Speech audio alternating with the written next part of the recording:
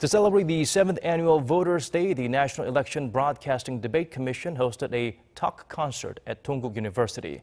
Its purpose to encourage active participation in the upcoming local elections.